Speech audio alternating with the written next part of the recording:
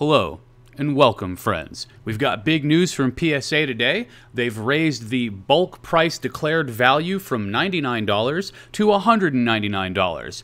That means that more of your cards can get sent to their cryogenic stasis.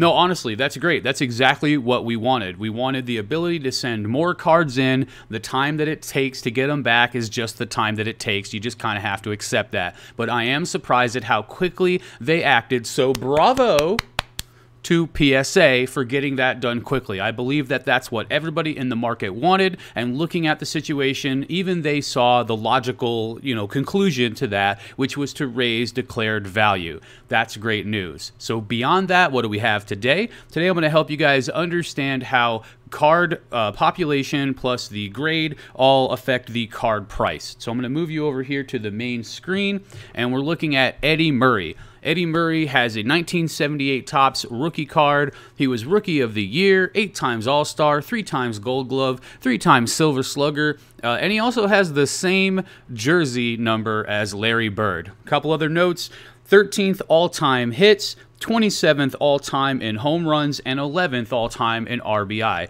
I was basically doing a little bit of research on, you know, undervalued uh, vintage baseball cards, 1970s rookies and whatnot, and I thought it was interesting to me that the cards could have been worth a bit more, but then you look at the pop counts and you're like, well, I could, I mean, it, it makes sense versus the market demand. And I've had a lot of questions about how those things all interact together, so I thought it would be a good opportunity to share that with some of you guys who need or want to learn more about it. So uh, the first thing we're going to do is we're going to look at the pop counts for that 1978 uh, Topps Eddie Murray rookie card. There's 8,943 that have been submitted in total, and there's only 18 PSA 10s. So obviously the premium price is going to be on that. We're going to check that out more a little bit later.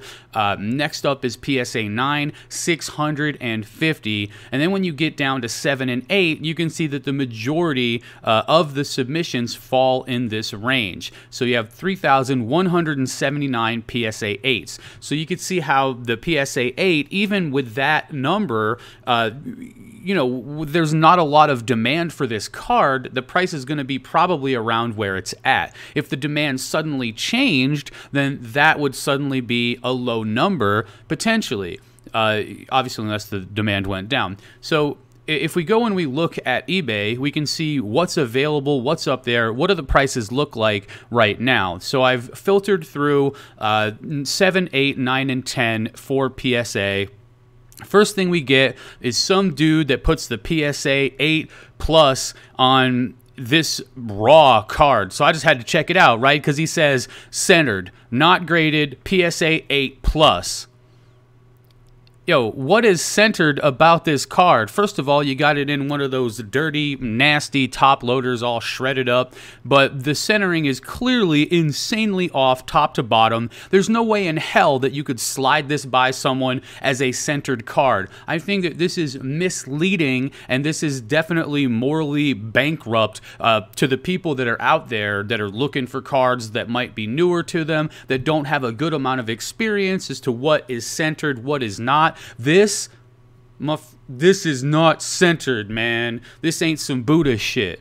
So this dude, bad on you, man. Bad on you. And another one. What do we have here? Well, that one's miscut. That makes sense. Then as we're scrolling down, we see a, a COMC listing and it's PSA 8, right? And you're like, damn, that's a dope deal because the cheapest PSA 8 otherwise is 123.99. So that 8650 looks good. But then you see in that washed out scan that it's an off center now, this right here, I think, is acceptable from somebody who doesn't really know that much about the situation, uh, and you know, an off-center versus a, a, straight PSA 8. But COMC, you ought to know better. In fact, your name is made up of C's and O's, so take the moment to put the OC on the card. See? It's not that difficult. I mean, it's just it, it's lazy. It's lazy. Anyway, you can get the cheapest one here for $123 for a PSA 8. If you scale uh, scale all the way up and you try to find that PSA 9, it's going to be difficult to do. It is going to cost you $800 and then PWCC Vault is asking 2000 or best offer. So, what does all of this mean in relation to these numbers over here?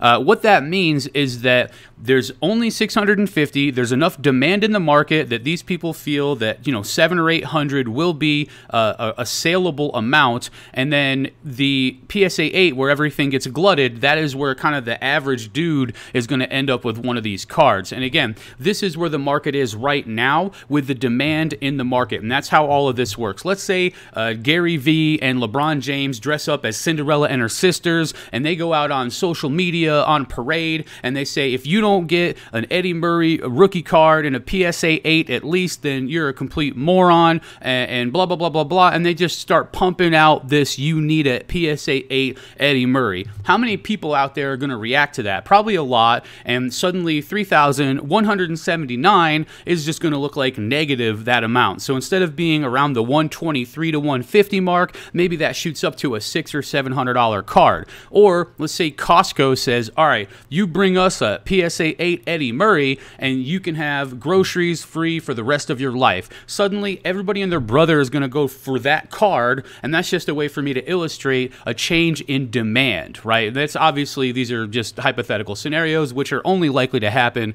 15% of the time. So, um, but, but, yeah, uh, reality works this way. Uh, if the demand goes up that high, then suddenly this a number of cards could look like a lot less or a lot more, you know, obviously depending on which way it goes. So when you see that price in the marketplace, you know, that is based on demand versus the pop count. So again, you see the 18 over here at the PSA 10. Who's out there that's going to be able to afford something like that, and how much of a premium will you get on that price? Well, I mean that there's only 18 of them, so you're looking at guys that are in the baseball industry, like other Hall of Famers, other professionals, uh, maybe you know owners that are putting together sets or doing whatever. Whoever's whoever's out there that has the amount of money that they would need for something like this, they're the ones that are going to be paying that premium, and they don't want the nines, and they've got the money to pay for the tens. So if you go over here, uh, we can go see the results of the most recent sale on PSA's site, and you can see that a Gem Mint 10, the most recent sale was $18,830 versus 767 for the 9. Uh, and, and so the way that this stuff works when you guys are looking at ratios between 10, 9, 8, etc., uh, obviously you have to consider how often the card in a raw form is going to grade a 10. The more the card grades a 10, the less the ratio will be because it's easier to get 10s or 9s uh, in that sense. And you have to look at how much demand there is and how that will trickle over uh, to that 9 card. So in, in this world, there's a ton of desire for the Gem Mint 10 because it's extremely rare, so the premium price is paid. And then the 9, there's 600 and change of them, and there's not enough demand to drive that price up. Because if you look at normal ratios, you would say, well, if it's $1,000 in a 10, it's probably 350 in a 9. And that would be fair and accurate for a lot of cards in the mid 80s or whatever. But in this scenario, it's not the case because there's so many of these nines and there's so little desire uh, to pay more than this amount for them that they're not meeting that you know, criteria if this was somebody also uh, that was more desired, obviously Eddie Murray was a beast. We just went through his stats, and he very well could be uh, undervalued, but you would have to see that increase of demand to see the 750 uh, or whatever hit like a 2000 mark. Because if you have a traditional ratio, it could be from 18 to like maybe 3 to 6,000 kind of depending. So, you know, that's that's kind of how it all interworks together. How many are available at what grade and then when the demand is there, is it demand from the average collector? Is it demand from like a premium buyer? What's what's the average demand in the market? So there's a lot of things to look at. And of course, you can look at different players, not just Eddie Murray. There's that stupid COMC listing. Uh, you can check out other players and ratios, but that's kind of how it all weaves itself together. If you guys have any questions about this stuff, please let me know. I will do my best to answer them in the comments below. Hit that subscribe button, and I hope you guys learned something today. Catch you on the flip side.